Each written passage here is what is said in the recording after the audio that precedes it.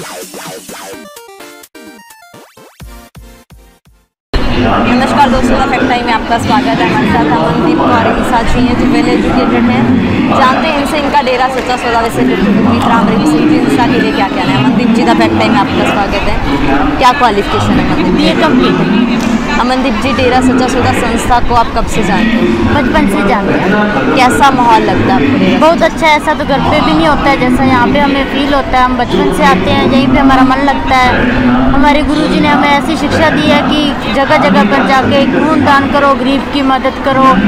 ऐसे हमारा जज्बा है कि हम सतगुरु जी का नाम रोशन करें। बीइंग गर्ल सेफ्टी को लेकर कैसा महसूस करते हैं? सेफ़ ऐसा तो दीदी घर पे या गलियों में अपने शहर में नहीं है जैसे हमें डेरे में सेफ़ है हम डेरे बिल्कुल सेफ़ है।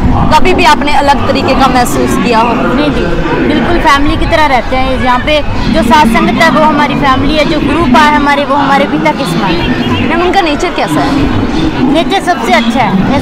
ऐसा नेचर तो किसी का भी नहीं है। दुनिया में किसी का भी नहीं है। जो उन उनके ऊपर एलिगेशन आरोप लगाए जा रहे हैं उनके बारे में क्या?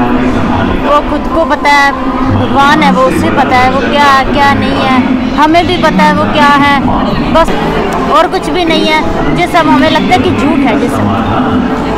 जो मीडिया में प्रचार किया जा रहा था चार साल पहले वो तो सभी झूठे हैं हमारी हमारी नज़र से देखा जाए तो ये सब झूठ है।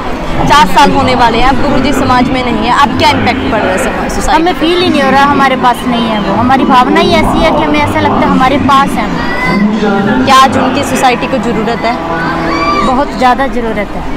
उन्हीं की उनके जाने की वजह से ही तो ये हालात हुए। हैं। अगर वो आ जाए तो ऐसे हालात नहीं होते। क्या अपील करना चाहोगे आप सरकार से? हम यही कहेंगे कि उनको जल्दी से जल्दी यहाँ आना चाहिए हमारे बीच। क्योंकि उन्हीं से ही ये सोसाइटी में सेफ्टी, जो भी है, सब कुछ सेट हो सकता है। बहुत बहुत धन्यवाद मैम हमारे साथ जुड़ने के लिए। दोस्तों, लगातार आपको दिखा रहे हैं डेरा सजा सौदा का सच पब्लिक का डायरेक्ट सर्वे आप तक पहुँचा रहे हैं। आपकी क्या राय है, ज़रूर डालिएगा कमेंट बॉक्स में। देख रहिए द फैक्ट आई और सच का साथ दीजिए। इस चैनल को सब्सक्राइब कीजिए। बहुत बहुत